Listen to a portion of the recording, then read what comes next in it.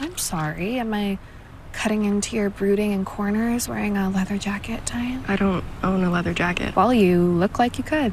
Okay. So, what are we doing first? Picking out my pump up song? No, but you can stretch and then we can start on three miles. Three miles? That is 2.9 more miles than they said I have to run. 2.94 miles. You're confusing miles and meters. I think you're confusing me with the metric system.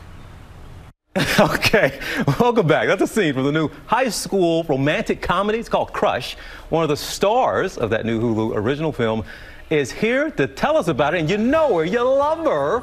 Uh, she was the voice of Disney's hit animated film Moana. Let's bring out, here she is, Auli'i Cravalho in studio with us. Dear lady, come on over. Yeah. You have already nailed the most difficult part of the interview, the walk. The walk. Thank you very much. It's tricky. Thank you. How you know what? Does, does I ask people who've had such iconic roles? d- Does it ever get uh, like, guys, stop calling me Moana, or guys, stop talking about Moana? Does it ever get old? Nah, I'm I'm from Hawaii. I'm born and raised there. Like if I hear Moana like called out on the street, I'm turning. it's an honor, yeah. Okay, and also, what an honor. What is it? The a billion views now. That your version of how far I'll go, a billion. views. Only a Yes. few on YouTube have hit that Yes. milestone. I can't really believe it. I mean, I was 16. It came out the day after my 16th birthday, and Moana is 16 in our film, and that was incredible. But to see her live on is, it just warms my heart. So you were talking about your teenage years in Moana. Now you're playing a teenager. Yes. So tell us about your character, AJ. I feel like I'll be playing a teenager for a very long time. More power to you. Um, my character, her name is AJ Campos. I have a sister named Gabriela, and we are the co captains of our track team. And then Paige, this artist, joins, and she's not great at running. She's not good at running. But while she's on our team, she experiences her first crush. And if you remember that feeling, it is all encompassing. And when she sees the people that she loves, it's all colors and full and bright and joy. And I love it. Now, I told I, this movie is hilarious. Now, I, I am not. I don't know if I'm probably the target audience for this movie. Yes, you are. I- am I? Yes. Okay. Well, I sat and I was going to watch, but from the first frame throughout, you you are enjoying this, and the cast is stellar. Yes, it It is. is absolutely stellar, but it it does tackle some.